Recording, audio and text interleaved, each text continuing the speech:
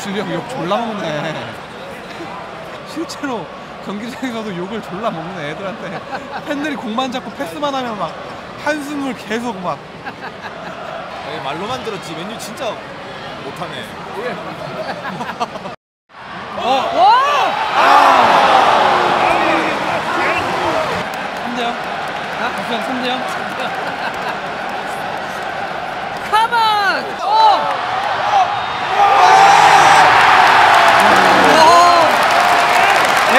대박 대박! 나시안! 가만! 3대 0! 3대 0! 3대 0!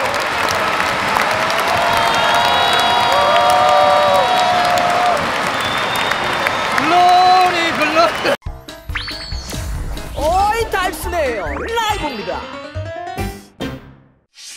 자 후토크 들어갑니다 네 여기는 제 어, 맨유 OT입니다. 아, 맨유가 하도 못한다 못한다고 얼마나 못하는지 현장 가서 한번 확인해 보려고 했는데 결과적으로 오늘 네, 3대 0으로 이겼습니다. 네, 아, 일단 지금 경기가 예, 여기 지금 보면 지금 스카프를 하고 있는데 요 맨유하고 파르티잔의 유로파 리그 경기였습니다. 이게 3대 0으로 일단 맨유가 이겼는데 어, 현장 직접 확인해 보니까 일단은 어, 승기를 했으니까 좀 잘한 부분이라는 인상적인 부분은 앞쪽 라인의 개인 능력들이 좋네요.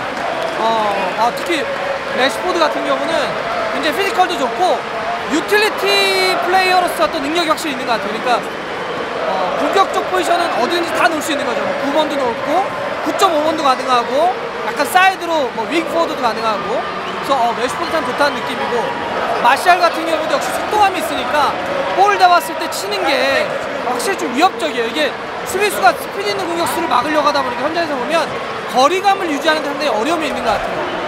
어, 아, 그리고 아까 레시포드 얘기할 때 레시포드는 TV로 볼 때도 느꼈지만 이, 이 드리블이 굉장히 위협적인 게 수비수한테 그냥 볼을 치고 가버려요.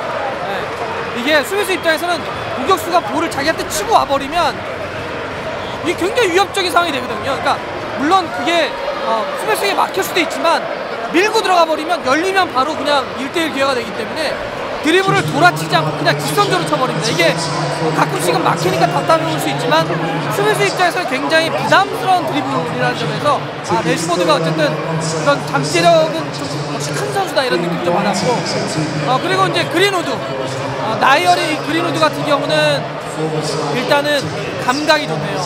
저는 제가 봐서는 좀 타고난 것 같아요. 어, 센스가 상당히 좋고 기술이 좋고 유연하고 빠르고 물론 약간 좀 파워 같은 거는 좀 키워야 될 것 같아요. 좀 더 높은 레벨에서 싸우기 위해서는 몸에 힘이 좀 더 있어야 될 것에서 피지컬적인 능력도 좀 있어야 된다. 그리고 아 완비사카는 진짜 태클 잘하네요. 예. 얘 수비는 진짜 완비사카 잘하네. 딱그 왔을 때 태클 치고 도망가는 정말 능력이 좋다는 느낌인데 자 이제 여기까지는 좀 좋은 부분이고 자 TV로 확인했을 때 어, 못하는 부분은 제가 현장 와서 느꼈던 건 뭐냐면 TV로도 못하면 현장 와서 봐도 못합니다. 자, 어, 우리 저기 프레드 형님 어떻게 할까요? 예, 프레드는 아유 이게 좀 심각하네요. 프레드 심각하고 이게 볼 미스가 너무 많아요. 그리고 미드필드에서 조율을 좀 해줘야 되는데 그게 안, 안 됩니다. 그다음에 우리 영, 예, 아 좀 심각하네요. 이게 저 주위에 있던 분들도 영이나 프레드가 잡으면 그냥 기대를 놓습니다. 기대를 놓고 아 우리 오늘은 제가 이제 링가드를 현장 와서 보지 않았습니까? 굉장히 보고 싶었던 선수입니다. 링가드가 현장 와서는 좀 어떨까? 좀 우리가 TV로 보지 못하는 부분이 있지 않을까? 어, 똑같습니다. 아, 링가드를 오늘 저는 아, 링가드라고 있는데 왜냐하면 후반전에 교체 투입되지 않았습니까? 교체 투입됐는데 거의 보이지 않는 닌자 모드. 예. 거의 뭐 닌자 모드 같은 링가드 같은 모습인데 아, 근데 제 느낌은 링가드가 자꾸 이렇게 좀 잘 안 되고 그러니까 굉장히 이렇게 스스로도 사기라고 할까? 상당히 뭐가 이렇게 떨어져 버린 것 같아요. 텐션 자체도. 이걸 좀 많이 회복을 좀 해야 될 것 같은데 가장 큰 맨유의 좀 오늘 경기 봐서 아쉬움. 저 이제 되게 오래간만에 OT를 왔거든요. 한 4, 5년 됐나? 현장 와서 직관한 거는 한 OT에서 4, 5년인데 그 전에도 몇 번 많이 왔었고 오늘 보면서는 저 누구 생각났냐면 두 명 선수 생각나더라고요. 하나는 폴 스콜스. 또 한 명은 마이클 캐리.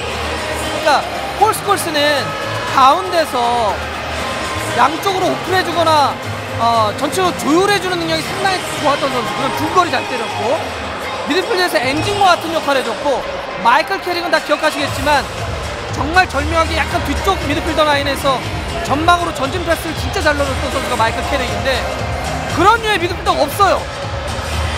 제가 봐서 가장 큰 문제입니다. 네. 그러니까 오늘 맥토미니, 프레드 혹은 위쪽에 마타 정- 마타가 섰는데 그나마 마타가 어떤 미드필더로서의 역할을 그나마 조금 해준 거고 물론 마타도 아쉬움이 좀 있었지만 맥토미니하고 프레드는 또 사람이 오고 있어요. 아, 프레드는 좀 심각하고 맥토니는 많이는 뛰고 볼을 끊어낼 때는 있는데 끊어낸 볼을 도- 그냥 다시 다시 상대에게 줘버려요. 예. 좀 스코스처럼 어, 조율을 하거나 오픈을 하거나 캐릭처럼 전진 패스를 하거나 이런 선수가 없어. 물론 폴 포그바가 지금 이제 부상 때문에 못 뛰는 것도 있겠지만 정말 오늘 보면서는 와 스콜스와 같은 선수, 캐릭과 같은 미드필더가 있다고 한다면 지금보다는 메뉴가 훨씬 더 좋지 않을까. 어쨌든 오늘 어, 맨유의 어, 플레이를 현장에 지켜봤는데 올 시즌 제가 봐서 맨유는요 어, 전망을 하지 않겠습니다. 어쨌든 예. 뭐 3대0 이기는 경기 맞고요. 하지만 고민은 많겠다. 우리, 좀, 우리 저희 아이들이 굉장히 좀 맨유를 막 환호하면서 나갔는데 어, 어, 컴온.